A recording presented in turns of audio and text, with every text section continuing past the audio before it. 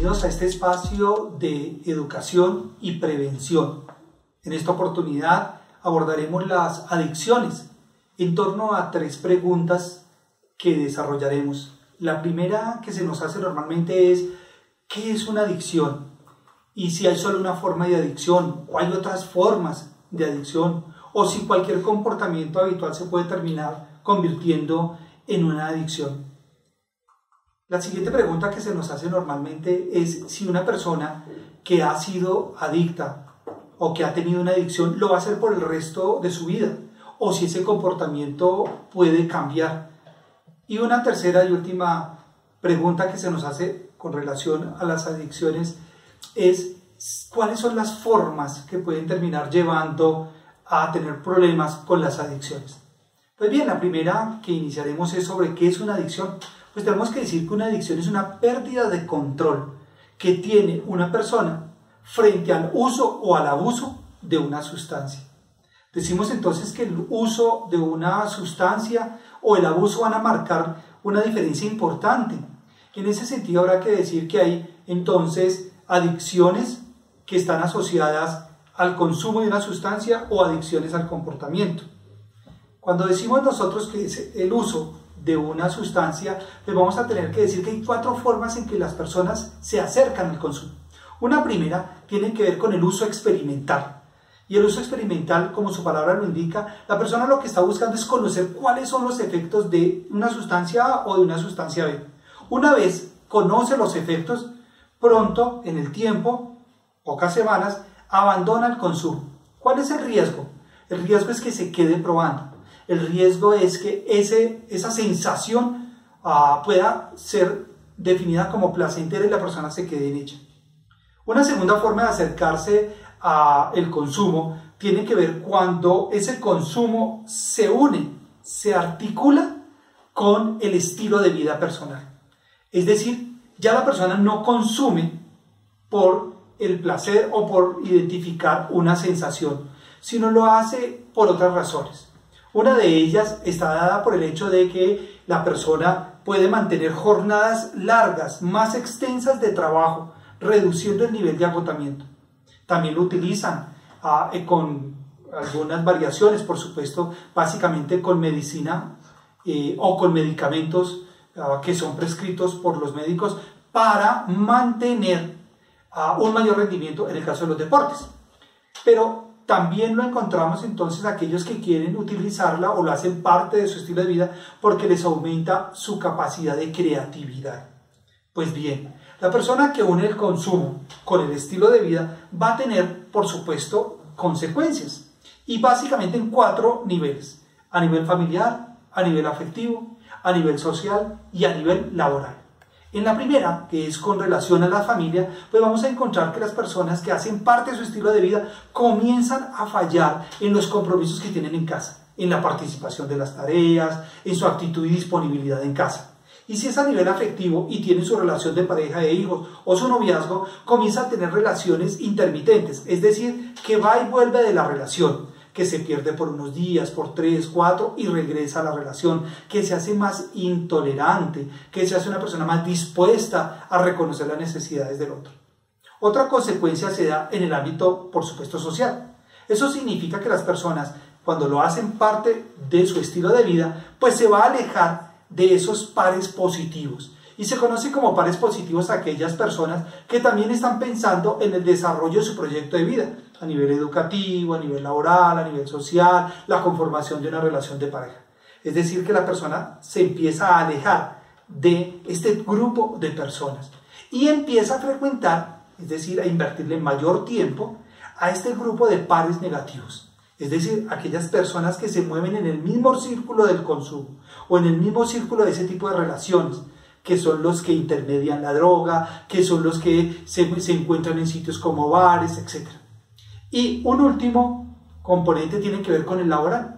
Es decir, que al hacerse parte de su estilo de vida, necesariamente va a empezar a tener dificultades en el cumplimiento de las tareas, comienza a tener dificultades en las interacciones con los otros.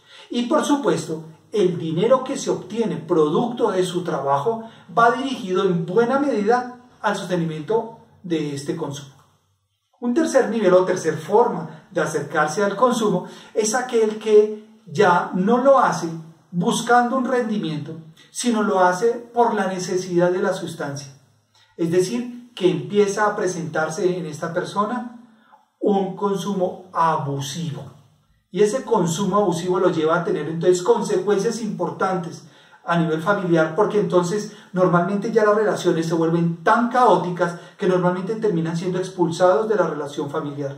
Y si es a nivel afectivo, por lo general las relaciones van al traste, se terminan, se acaban, aumentando el malestar en la persona, por supuesto.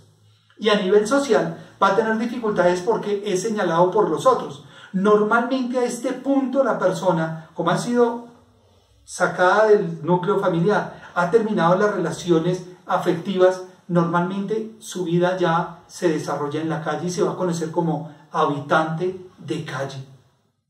En ese sentido, al no tener ya fuentes de ingreso, por supuesto la única forma de poder consumir tiene que ver con el último ámbito y es lo legal. Significa que entra en la conducta delictiva y por lo general va a tener que vivir dos experiencias o son detenidos y están por algún tiempo en un CAI, en una URI, o van a tener que enfrentarse con situaciones de daño físico y normalmente empiezan a tener algunos episodios de intoxicación o de sobredosis y terminen yendo a dónde? Pues a los hospitales. Y viene una cuarta forma de vivir el consumo. Y ya no es ni siquiera el abuso, sino es la dependencia absoluta de la sustancia.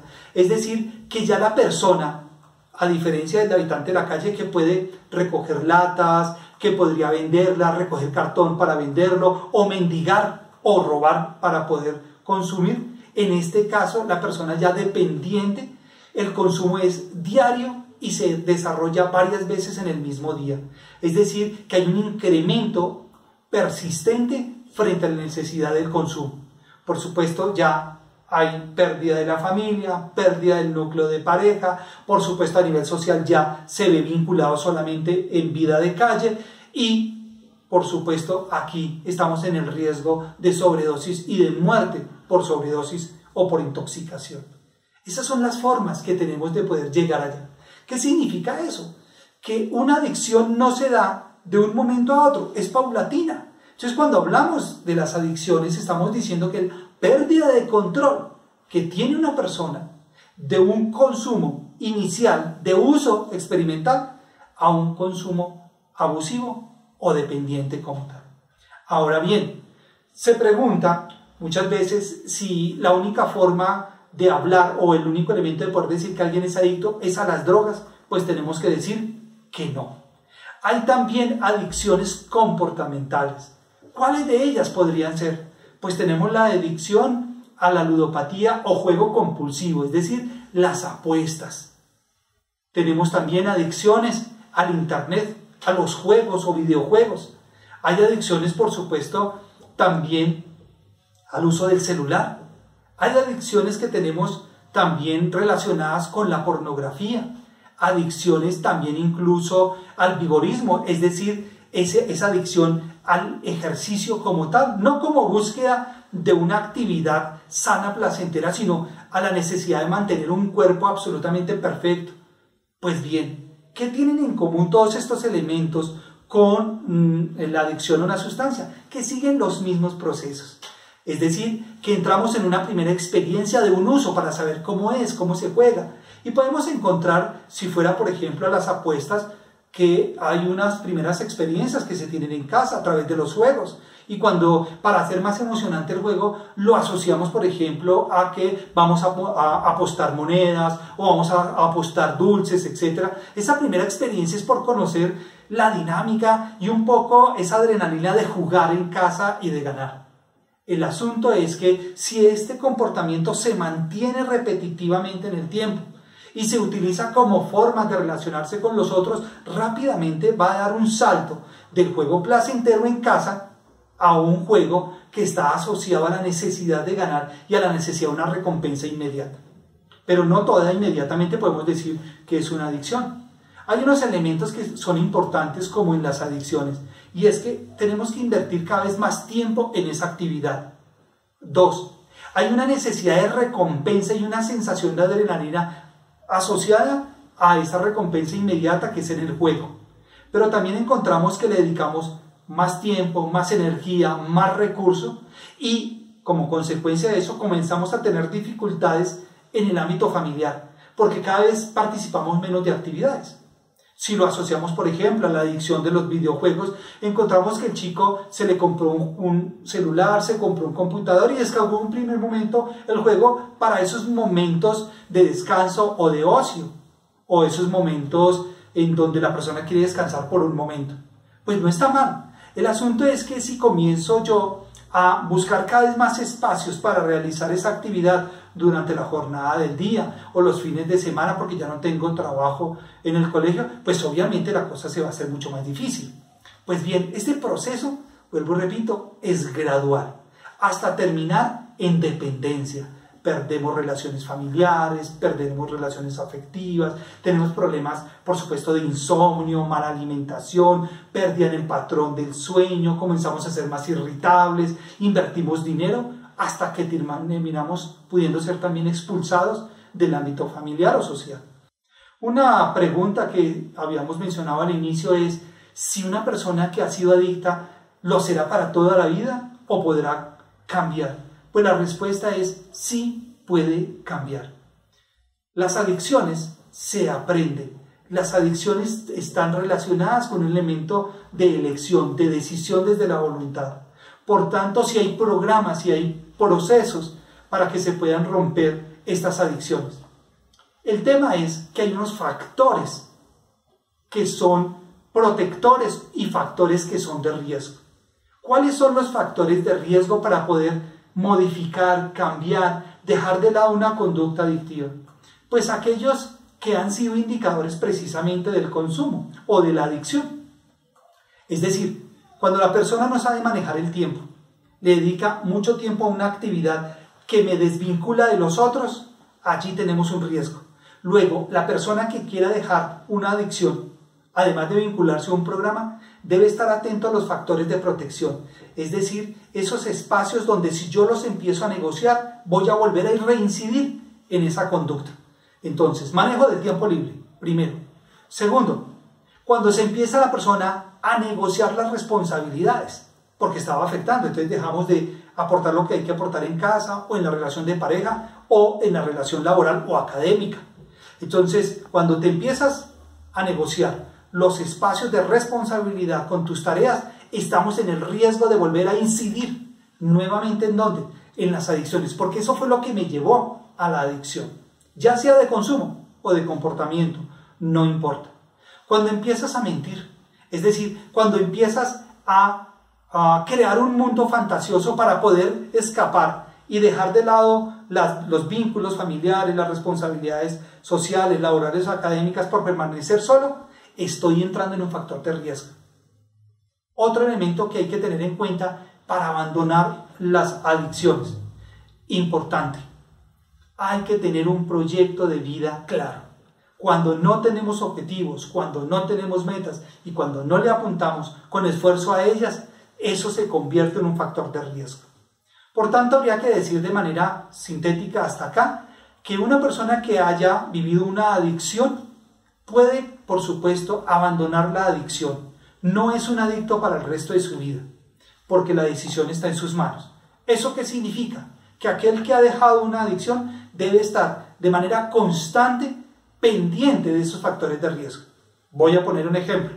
Aquel que ha subido de peso porque gustan las harinas, porque gustan de los azúcares, porque gusta de las grasas saturadas, y hace un programa, un plan de desintoxicación, un plan de dieta, y disminuye su peso, de, de ahí en adelante no es que no pueda un día comerse un dulce, no es que un día no pueda comerse una harina, pero si esta persona no está atenta a modificar esos hábitos de consumo, es decir, con quiénes se reúne, qué come, qué es lo que compra en el mercado para traer a la casa, cuáles son el tipo de recetas que está viendo, pues va a volver a incidir nuevamente en la conducta de sobrepeso.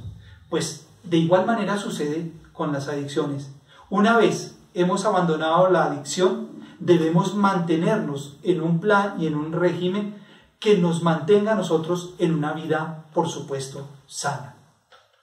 Para sintetizar, recuerda tres cosas frente a las preguntas que hemos resuelto el día de hoy. Primero, una adicción es la pérdida de control que se tiene sobre una sustancia o sobre una actividad que me lleva del uso al abuso.